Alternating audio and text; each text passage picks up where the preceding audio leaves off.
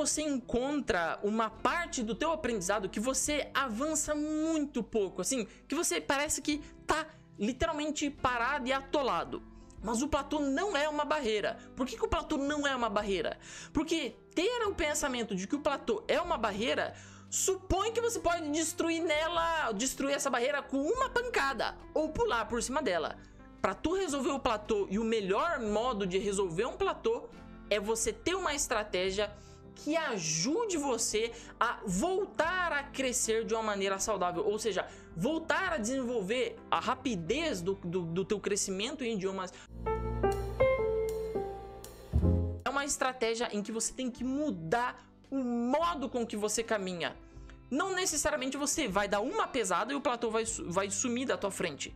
Mas se você muda um conjunto de práticas, muda o modo com que você está fazendo as práticas, muda o modo com que você está querendo melhorar a sua leitura, muda o modo com que você está treinando a sua fala, muda o modo de aprender vocabulário. Se você muda os modos de andar, você continua andando e você acelera uma vez mais o teu processo. 90% das pessoas está errado com relação ao platô. Platô não é uma barreira, platô é um crescimento marginal decrescente, né? Então, o que que são retornos marginais mais decrescentes. Quer dizer que você cresce ainda mas é cada vez menos. Se o platô, a gente tem que atravessar ele, né, esse intermediário barra lento que a gente fica, como a gente tem que fazer isso? A gente tem que continuar o nosso caminho, não tem como pular por cima, não tem uma estratégia salvadora que vai salvar, é, é, que vai te tirar do, do, nada, tirar do buraco, mas tem como você mudar o modo com que você caminha, para que você caminhe de uma maneira muito mais otimizada. Então quando você fala em ter um platô, você tem um platô aonde? Que você tem que saber qual competência nós estamos falando, porque a gente vai mudar de estratégia a depender da competência que a gente quer melhorar.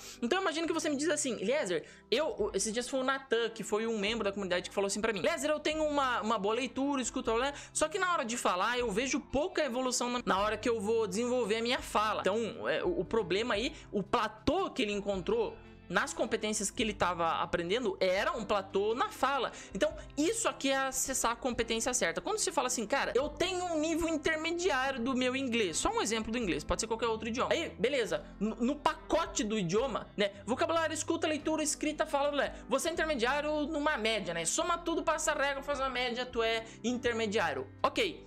Mas quando você quer resolver o problema do intermediário, você tem que pensar o seguinte: onde mais eu quero evoluir? Em tudo. Então tá bom, então vamos ter uma estratégia para tudo. Mas se você quer evoluir mais em uma das competências, como no caso do Natan, que ele melhorar mais a fala, então nós temos que mudar, continuar caminhando, obviamente, mas mudar o modo com que você caminha. Ou seja, o Natan vinha fazendo determinadas práticas e ele deveria mudar. Ele deveria parar de fazer aquele tipo de prática e mudar o modo com que ele caminha, porque o modo com que ele caminha estava já dando pouco resultado, ou seja, ele tinha encontrado essa parte da curva aqui, a parte que dá bem menos resultado, que você fica um tempo ali e parece que tu não vai para frente.